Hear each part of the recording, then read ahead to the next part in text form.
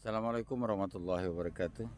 Selasa 15 Agustus 2023 kita masih berada di perkebunan kurma Ukwadatu Pola Nyakap klaster 1 yang mana uh, kebun kurma ini dimodali oleh rekan-rekan dari berbagai provinsi yaitu dari Aceh, Kepulauan Riau, Lampung, Bengkulu, DKI Jakarta, Jawa Barat, Kalimantan uh, Timur dan Kalimantan Barat. Nah, di kebun ini yang ditanam adalah tanaman kurma, kurji, dan kuljar. Terus juga kita lakukan tumpang sari dengan tanaman anggur. Alhamdulillah syukurlah ini tanaman anggur kita sedang dirawat oleh Pak Kades Rempe yang secara kebetulan beliau juga adalah bendahara umum perkebunan kurma Ukwadatu Polanyakap. Jadi beliau sebagai kades sekaligus merangkap sebagai uh, bendahara umum dari uh, tim pengelolaan perkebunan kurma Ukwadatu Polanyakap. Nah ini anggur ditanam seperti ini aja di sini dan ini belum baru, baru beberapa bulan ini kita menanam uh, masih hitungan bulan belum tahun. Sekarang kita bincang-bincang dengan Pak Ketua Pak Bendahara Umum Perkebunan Kurma Kuadatu Polanyakap sekaligus Pak Kades Rampi. Assalamualaikum Pak Rudi. Waalaikumsalam warahmatullahi wabarakatuh. Pak. Ini pulang dari kegiatan kantor langsung ke perkebunan kurma. Ya, jadi betul, Pak. jadi langsung ini apa? memanfaatkan waktu. Memanfaatkan waktu langsung tanggung jawab sebagai bendahara. Yang kebetulan beliau salah seorang pengangguran di Lombok Utara ini.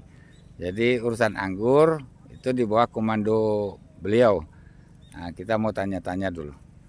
Begini Pak Pak Rudi, ya, ini repot mau nanya Pak Kades apa ya. Pak Bendahara? Nah, kalau di kebun Pak Faru, panggil nama saja. Pak, Pak Rudi saja ya. ya. Kalau di kantor paksa kita ya. uh, Pak Pak Kades. Ya, ya. Uh, jadi pertanyaan tuh kita kan bikin uh, uh, perkebunan kurma Kuadatu Polanyakap. Jadi kita nanam kurma.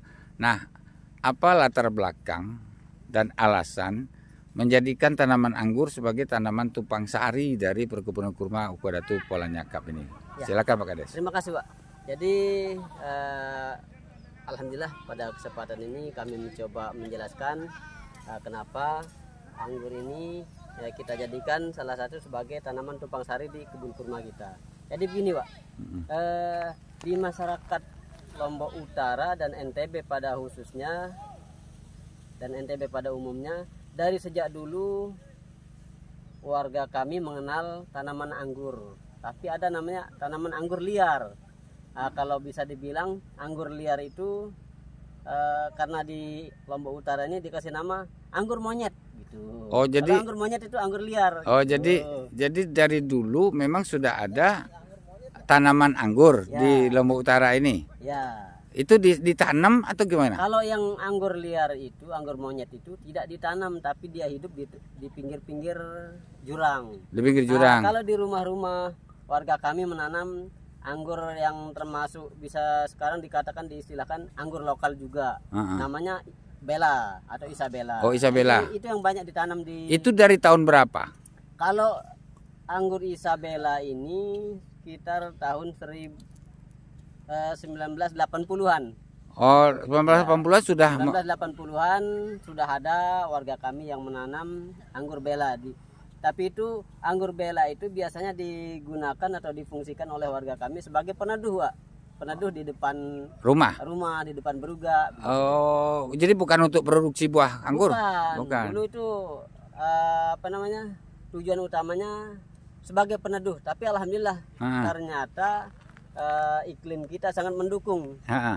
di Lombok Utara dan NTB pada umumnya ternyata setelah ditanam anggur itu uh, dia sangat bagus sekali pertumbuhannya dan juga hasilnya juga bagus gitu rasanya buahnya. rasa buahnya nah kalau rasanya kalau anggur bela itu ini anggur lokal kita anggap anggur lokal walaupun itu datang dari luar daerah juga tapi karena sudah terlalu lama dia berkembang biak apa dikembangkan di daerah kita di NTB ini masih kita anggap anggur lokal dia rasanya kalau dia betul-betul matang baru ada manis-manisnya. Ah. Tapi kalau masih belum sempurna matangnya, ya, ya yang lebih apa dominan itu rasa kecutnya. Oh kecut. Ya, jadi itu semenjak ta- tahun 1980-an warga kami sudah mengenal anggur Bella Isabella. Isabella. Kemudian eh Kita sambil jalan Pak Kades. Oh, boleh, boleh. Ini kan udah berbuah nih. ya, ini ini sudah berubah ini. Mana? Ah, saya jelaskan dikit, Pak. Ah, Ini jenisnya Harol.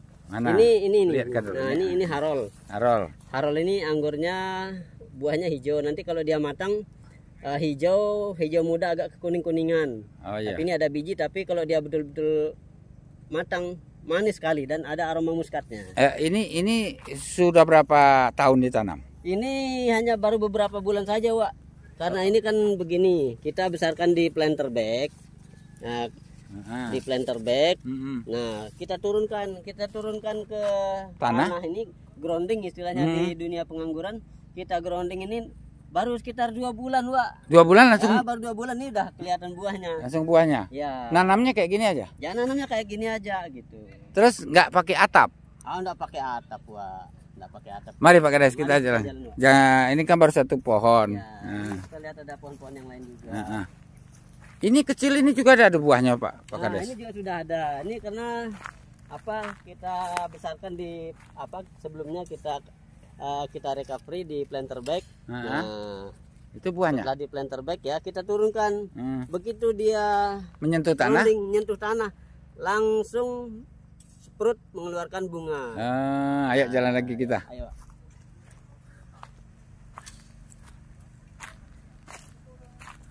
Nah, ini juga nah.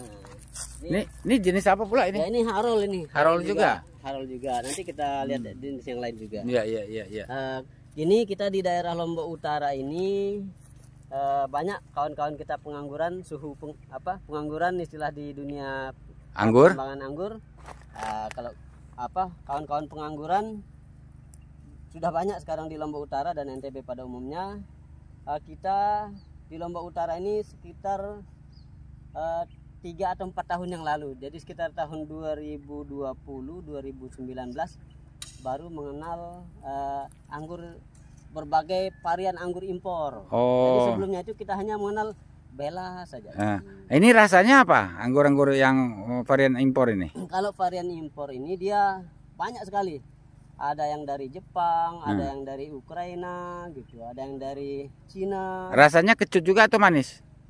Kalau dia sudah matang dia itu manis Oh, manis. ya dan manis itu pun dia ada ada yang manis biasa ada yang crunchy ada juga yang ah, aroma muskatnya yang Oh, iya iya. Ya kita jalan lagi Pak Kades. ada yang juga Iya iya iya iya. berbiji Jadi artinya tanaman anggur bagi masyarakat kita bukanlah tanaman eh, asing ya. Ya, sekarang bukan lagi termasuk tanaman yang asing. Hmm. Jadi sekarang itu hampir di setiap rumah di warga warga kita Heeh. di Lombok Utara dan NTB pada umumnya. Jadi sudah ada eh, anggur yang ditanam minimal ya ditanam dengan menggunakan sistem para-para. Heeh. Kalau sistem para-para kan eh, Sekaligus untuk peneduh ya. Peneduh begitu di musim kemarau. Nah, sekarang gini Pak Kades. Ini kan udah ditanam di eh, perkebunan kurma Ukwadatu Polanyakap. Memang mau berapa banyak nanam? Insya Allah Wak, target kita sesuai dengan target penanaman Kurma. kebun kurma kita. Jadi kalau kebun kurmanya 100 hektar berarti Ya. 100 hektar juga. Kalau kebun kurma target kita 100 hektar, maka 100 hektar itu otomatis juga Anggur. anggur. Kalau Itu 1000? pasarnya. Kalau 1000 ya 1000 juga. Oh, artinya tujuan uh, Ukwadatu Polanyakap itu betul-betul ingin menjadikan Lombok Utara dan sebagian besar NTB menjadi produsen kurma dan anggur Insya begitu. Allah, Wak. Karena ini tanaman ah, kurma dan anggurnya sangat bersesuaian sekali, Wak. Dan ini sudah terbukti begitu. Oh, baik baik baik. Jadi untuk mengejar produksi Oke, saudara-saudara, Ya. itulah artinya kenapa uh, perkebunan kurma Ukwadatu Polanyakap uh, memilih tanaman anggur sebagai tanaman tupang sarinya. Ternyata anggur bukanlah tanaman yang asing bagi masyarakat dan tanah uh, Lombok Utara. Oke, sekian dulu. Assalamualaikum warahmatullahi wabarakatuh.